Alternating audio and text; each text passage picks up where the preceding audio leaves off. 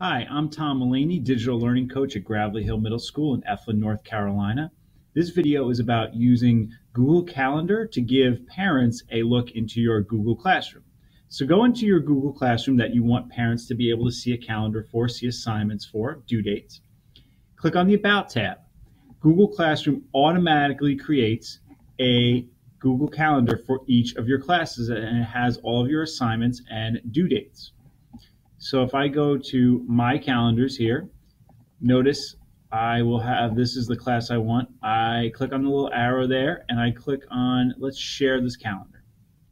Now it goes right to a screen where I can share this calendar with others and make it public. You have to make it public because your parents don't have email addresses inside your district domain. So they have to be able to, it has to be public. It can't just be within your domain. Otherwise parents won't see it. If I then click, and then I click on save, making your, and it gives you the warning. And again, go right back there.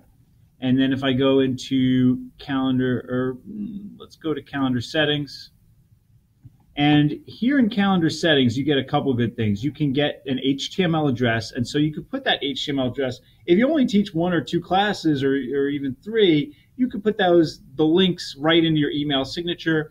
But you could also put those links on a classroom site on a Google site, Weebly, whatever. But another cool thing you can do is you can embed your calendar into a Google site, a Weebly, a WordPress, or in this case, let me show you in my district, we have a learning management system called Canvas. So what we can do here is I can go into my Canvas site, and this probably is true of most learning management systems, but if I go into edit,